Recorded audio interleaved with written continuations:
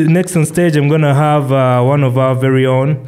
That is Breezy Beats, representing for Baboon Forest, Street Credit. You know, he just organized the hip hop night just recently. Give it up for Breezy Beats one more time.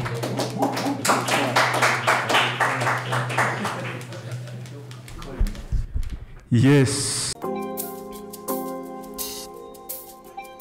Yeah, yeah, yeah, yeah, yeah.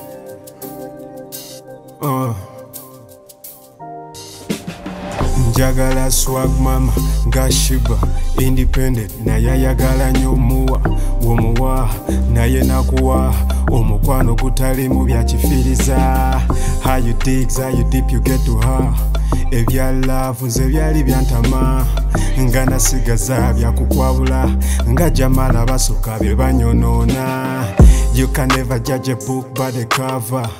Kirabika tolingano balala bodeshopesa nayo omukisa.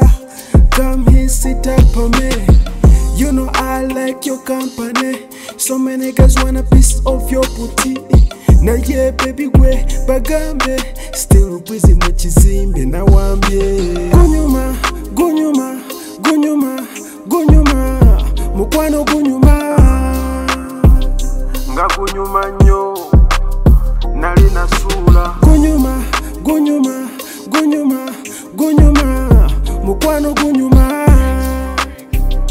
yenga gunyuma nnyo. Nali nasuula. Mu basajja nze musajja yeka kusiba zikaveti biroto byabifuula reality. Luli kyankwambaze ku mateneti mukwano woli setagana bulanketi baveeka. Bwomukwano mujuvu nkuweeko kulageko tuveyo ne mugeto bakulimba buze nfuna kamodo buli kiro. Nedasiga bamangu bwentyo gunyuma gunyuma gunyuma mukwano gunyuma nga gunyuma nnyo nali nasuula. Gunyuma gunyuma gunyuma gunyuma mukwano gunyuma yenga gunyuma nnyo nali nasuula